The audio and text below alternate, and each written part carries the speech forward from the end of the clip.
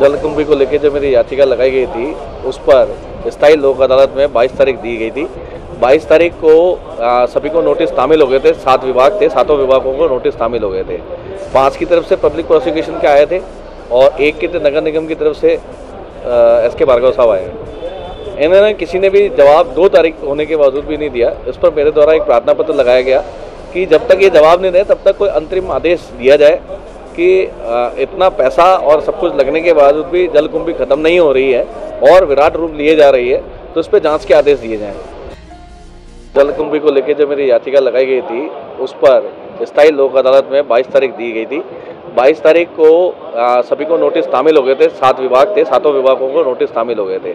पाँच की तरफ़ से पब्लिक प्रोसिक्यूशन के आए थे और एक के नगर निगम की तरफ़ से एस के भार्गव साहब आए इन्होंने किसी ने भी जवाब दो तारीख होने के बावजूद भी नहीं दिया। इस पर मेरे द्वारा एक प्रार्थना पत्र लगाया गया कि जब तक ये जवाब नहीं दे तब तक कोई अंतरिम आदेश दिया जाए कि इतना पैसा और सब कुछ लगने के बावजूद भी जलकुंभी खत्म नहीं हो रही है और विराट रूप लिए जा रही है तो इस पर जाँच के आदेश दिए जाएँ। माननीय न्यायालय ने प्रार्थना पत्र रखकर 8 मई आने वाली दी है जिस पर आ, हो सकता है कि कोई एक अच्छा आदेश आए इस ऐतिहासिक झील को बचाने के लिए। भैया मानते हैं। तो मैंने देखा भी कि नई मशीन जो महाराष्ट्र के मुंबई से रवाना थी वह अजमेर पहुँची है जो करोड़ों रुपए में है। एक ऑलरेडी पड़ी है और कोटा से भी इन्होंने किराए पे मंगाई है।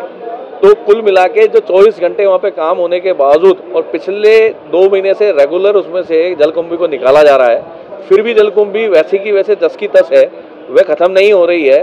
तो इसमें कहीं ना कहीं ऐसी बू आ रही है कि इसमें आ, कहीं कुछ भ्रष्टाचार भी हो रहा है। कि रोज डेली लाखों में पैसा खर्च हो रहा है और जल कुंभ भी खत्म नहीं हो पा रही है। तो उसके क्या कारण है? उसके निस्तारण के क्या कारण है? कहीं पे भी पता नहीं पड़ रहा है। दूसरा जो सबसे बड़ा कारण जो निकल कर आ रहा है, उसमें ये भी है कि चारों ओर जो आना सागर का जो एरिया है, जैसे जैसे हवा से चारों ओर घूमती है तो ये आना सागर के चारों ओर इन्होंने ढेर लगा दिए हैं। तो आने वाला समय बारिश का है। तो अगर ये जलकुंभी इसी तरीके से विराट रूप लेगी तो जो इसके कैचमेंट एरिया है, यहाँ से खानपुरा खानपुरा से ये होती हुई बड़ा एक सफ़र तय करके लूनी नदी में जाती है, वहाँ से चंबल होती हुई फिर ये हिंद महासागर में गिरती है। तो ये जितने भी छोटे छोटे तालाब है, उन सबको ख़त्म करेगी। तो आने वाले समय बहुत भयानक हो सकता है। अगर विपरजॉय जैसे जून में पिछले साल आया था, अगर ऐसा भी आ गया तो उससे भी बहकर आगे जाएगी और ये एक विराट रूप लेगी।